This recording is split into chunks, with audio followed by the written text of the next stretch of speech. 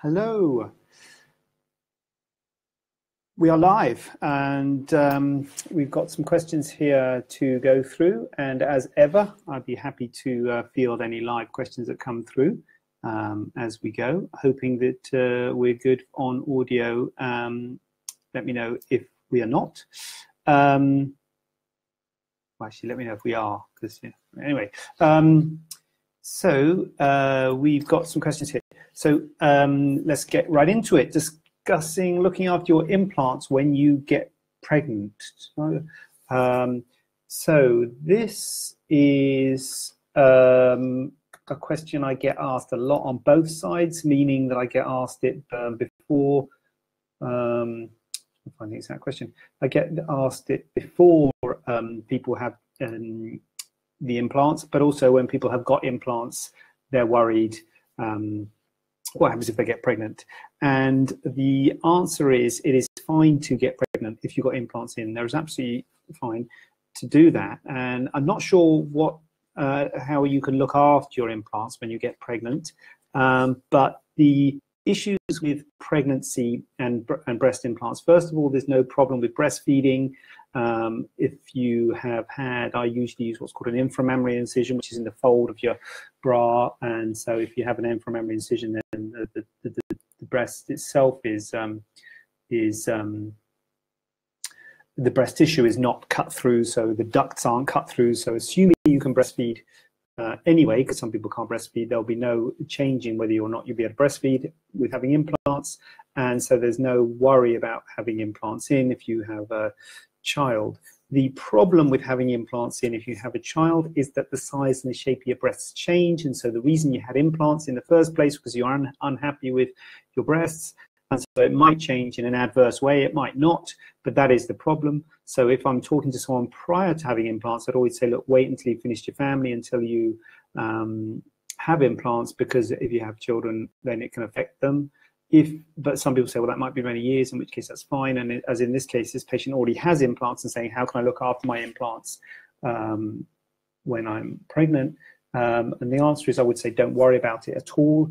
The reason that the size and the shape of your breast changes is because the skin is stretched and that happens when you go when you breastfeed because the breasts get bigger and then when you stop breastfeeding the breast get smaller. The longer the bigger the long the more the skin is stretched. So the less time you breastfeed i guess you could argue is better for the stretching of the skin, but breastfeeding is good for your child. I think it's recommended these days, so I don't want you not, not to breastfeed. Um, but that's the only thing I can think of that might affect the, the, shape of your breasts. Um, there's not a lot else you can do to look after your implants, if you like, when you get pregnant. So just enjoy your pregnancy, enjoy your child. Don't worry about it. The breasts will probably get bigger when you have the child um, with, with the milk and what have you. And then the hope is they'll go back to how they were before. They might not. They might stay a bit bigger. They might go smaller. They might sit lower. Things might happen, which you might be happy with or you might not. And if you're not, we'll see if we can do something about it. But if you know if if it's okay, then don't worry about it at all. So no specific things to do if you're pregnant, but just enjoy the pregnancy and don't worry about it. Um, and, and, see what happens. Wearing earrings after having a split earlobe repair. Well, there's different ways repairing the split. The common way of repairing the split is just um, to close up the split, uh, and that gives you a straight line scar. And then you'd have to have your scar, uh, your ear pierced, just slightly offset the scar um, a, after a couple of months once it's all healed. Um, you don't want to have it pierced to the top of the scar because the, the scar will be weaker than normal tissue and so an earring could pull through. This particular question is coming from a patient of mine who has had the double flap technique, which is a technique that I do where you bring two flaps of skin underneath the uh, earlobe repair so that you keep the um, you keep the hole in the original place because it matches the other side. Often people say, well, I've got my hole symmetrical and I want to keep the earring in the place where it was initially, in which case you can do this double flap technique and that keeps the hole. And so she's wearing studs and I recently saw her in the clinic, but she forgot to ask me um, when she could wear bigger earrings, I think, or, or what was the question? When, when, um, is it okay for me to wear different and possibly heavier earrings now? Okay, um, so yes, uh, the double flap technique does allow you to wear earrings. It's always going to be weaker than normal skin, so uh, I wouldn't wear big ding danglers. And if you could pull through, just like the normal side could pull through. So, but if obviously you know you want to wear the earrings that you like, so yes, be careful. Don't wear too them too big for too long. But yes, you can start wearing slightly bigger uh, earrings because it's been a couple of I think has it been? It's been probably actually I saw you the other day and it was six weeks. So it's been you know six six weeks or so. So now you can start wearing bigger ones. You The only said is when to do wound debridement. Now this is a patient who's been in touch with me who has is having some problems. She um, I, uh, I, didn't do the original surgery. She's had what looks like um, uh, she's got breast implants in, and it looks like she's had a lift with implants, and she's got a wound breakdown, and she's feeling a little bit um, um, worried about progress. Understandably so. It is really worrying when you have problems. But the number one thing that I would say to you and, and to anyone is stay close with your surgeon. A lot of people go on these forums and contact me on Facebook and things. And I'm very happy to help. But it, you know, if I um, I'm not seeing you and I obviously didn't do the original surgery, so I don't know exactly what's gone on then it's stay close to your original surgeon and go with the original surgeon's advice. But my, in general terms, my advice, she, what's happened with her is she's had wound breakdown with a lift with implants, and she feels that she's been left for six weeks, and now she's had having a debridement where the, the, the wound's been cleaned, and she feels it should have been done before. Now, I have to say, my view is that I do tend to leave it if people do have wound healing problems. Um, the problem with doing wound debridement, so when we take someone to theatre and debride a wound, that means removing any dead tissue. What we do is we want to take it back to healthy, uh, healthy tissue. And so there is a tendency to debride a little bit more tissue because you don't want to only remove the dead tissue, you want to get down to definitely living tissue. So you'll, that interface between the living and the dead, you'll tend to take away more when you do a wound debridement. Whereas if you let things separate, themselves, then the exactly amount of dead tissue and the exact amount of living tissue, the hope is that you'll the dead tissue will form like a scab or an eschar, um, and then that scab separates, and then you're just left with healthy tissue. And so, actually, although it's horrible having black bits of skin and scabs and things, it's better to leave it like that because you'll get the maximum amount of tissue left behind. And this is particularly important when you've had something like a lift with implants because you want to have enough cover over the implant. If the implant gets exposed, you have to remove it. And this is one of the reasons why lift with implants is such a big deal. It's a big operation. There's a lot of potential complications, and this is one of them. Wound healing problems, and if the wound opens up, and the implant gets exposed, you have to remove it. So this is a problem with a lift with implants, but I don't think from a sort of surgical point of view, I don't feel that she's been neglected by having it left for six weeks, uh, although she may psychologically feel neglected if the surgeon hasn't kept close with her and explained this to her but I think uh, it's not unreasonable to leave the tissues to, to, to separate as long as they're not getting infected and you're not getting ill and they're getting red and angry. And if, if you get an obvious infection, then you have to remove that dead tissue. So that would force you to go and have a debridement if things are not looking good. And, um, and so you might want to go and do that. But I think um, a lift with implants is a big deal. This sort of thing is horrible when it happens. I'm sure the surgeon will be very distressed and have finding it hard to to to um, um, not hard to deal with, but but it but it does knock us back. To be honest with you, I know it knocks you as patients back a lot more because you have the complication, but it is one of the difficult parts of the job. To be honest, dealing with complications, and so um, I'm sure the your surgeon will be wanting to get the best result possible for you. So stick close with them, and uh, by all means, keep in touch with me on Facebook, and I'll put my uh, opinion in. But uh, I'm always thinking it's best to be talking to your surgeon, uh, ideally. Uh, and now we've got types of tummy tuck, which is the last question. All in fair warn. Um, last question. Um, types of tummy tuck, right? So types of tummy tuck, a bit like facelifts, uh, well, a bit like mastopexy actually, thinking about it, a bit like any of these skin tightening uh, operations, basically facelift, mastopexy, and tummy tuck are all skin tightening operations.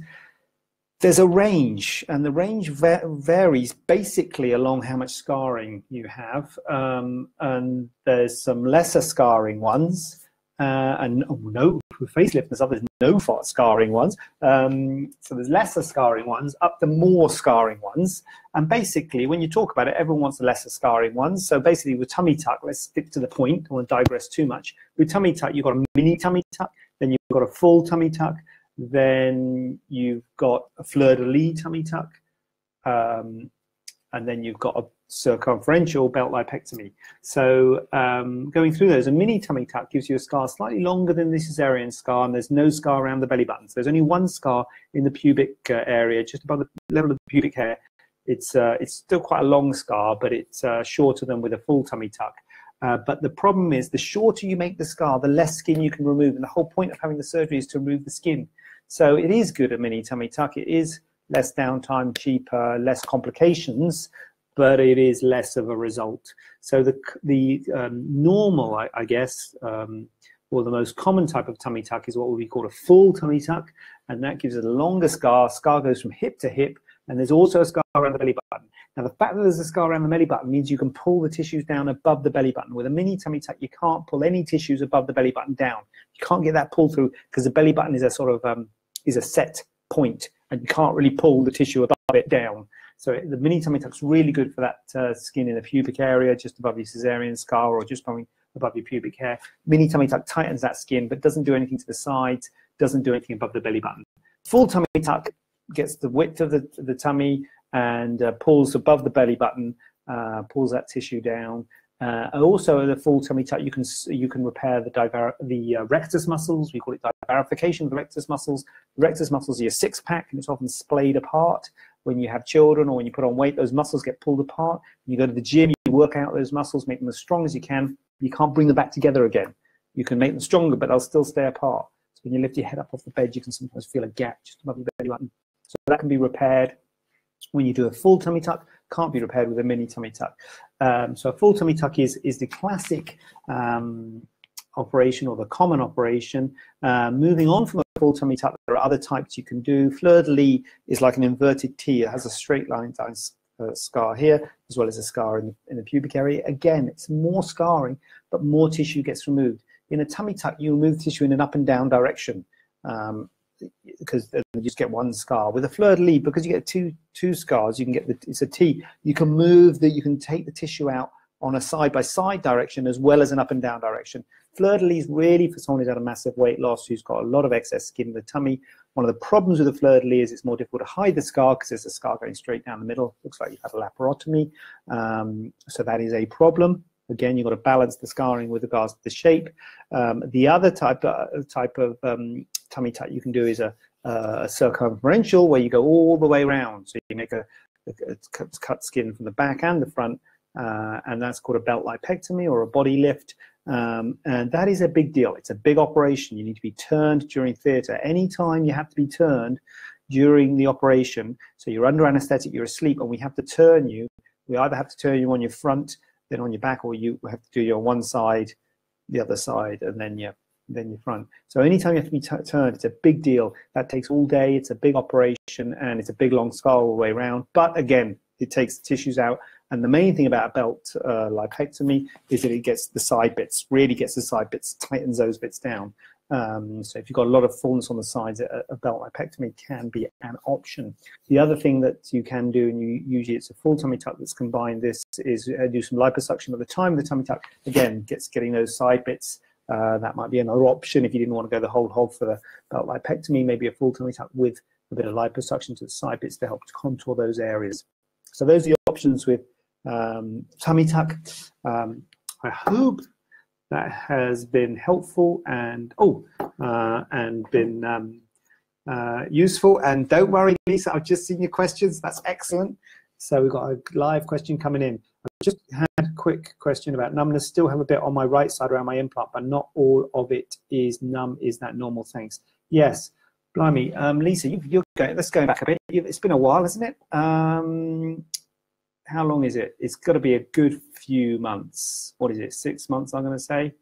Um, anyway, I think you're quite a way down the line now, and um, so the thing about breast, so as I say, I make the inframammary incision, so I don't cut anything in the breast, I don't cut any nerves, I don't cut any milk ducts, anything like that. But often when you have breast implants, you get funny feelings, you either get numbness, March, God, look at that, I'm, I'm always off by the wrong way. I thought six months, I thought I'd been generous there, so more than six months. So getting on for a year really. Um, so uh, whenever you have uh, uh, implants in, whenever you stretch the skin, you can get funny feelings in the skin, numbness, overly sensitive. And in fact, overly sensitive is worse than numbness. Um, and I usually say this this settles. This usually settles. Now, um, number first point, if it's going to settle, it can take a long time, nine or 12 months. So we're like nine months now. Um, so in nine months now, uh, or what are we now? Anyway, whatever March to now is nine, it is you know, 10 months. So we're quite a long time now. So I normally say if nerves are going to come back to life, they can take nine or 10 months for, to, for them to come back to life. So it might still come back to life. It's not unusual for nerves to take, you know, up to a year for them to come back to life. Having said that, it's quite a long time now, so it might not. So occasionally you can get a persistent problem with numbness or funny feelings. I have to say, I've never had any patients who've had a real problem with it. So I think what happens is that you actually, it either, get, either gets better over time, or you just sort of learn to live with it and it doesn't actually bother you that much because often it's a bit here or maybe a bit around the scar. It's not like a big thing. So it might be persistent. I couldn't guarantee it 100% get better, but don't be don't write it off. It might still get better. But even if it doesn't get better, what happens? I think you just sort of learn to live with it. It, does, it doesn't become a problem. I'm guessing you've probably got an appointment to come back to the clinic. If you haven't, give us a shout and I'll see you and we can talk about this sort of stuff. But yeah, the bottom line is don't worry about it. Uh, bit on bit around side around my implant, not yeah. So don't, don't worry about it. It's all um, oh, what's going on here? It's all fine.